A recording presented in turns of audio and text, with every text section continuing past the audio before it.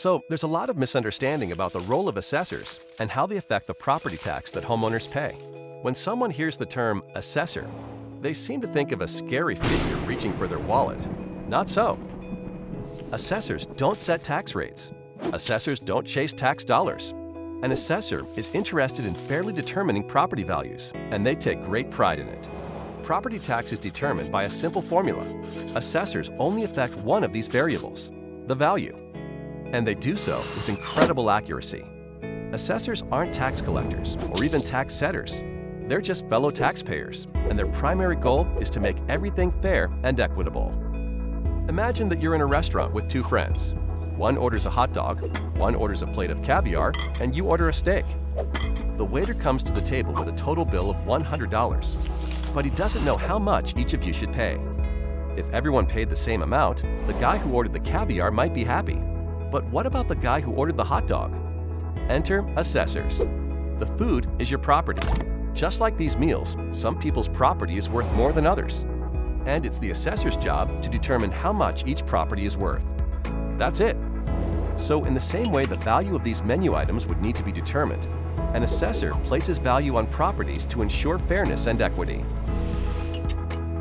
After the assessor determines the value of each property, local governing bodies will set their budgets for the coming year. They set the tax rate in order to produce the dollars needed for their budgets. The value of a property does not affect the amount of property tax needed.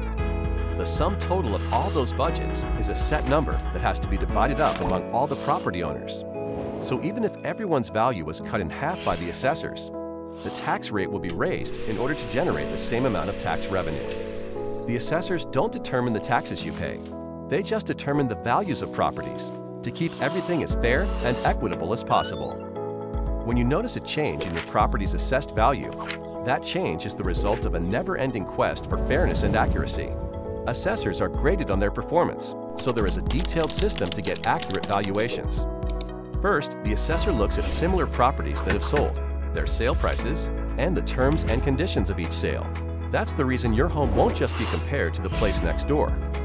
Studying things like square footage, age, and location helps assessors determine how comparable another property is to yours.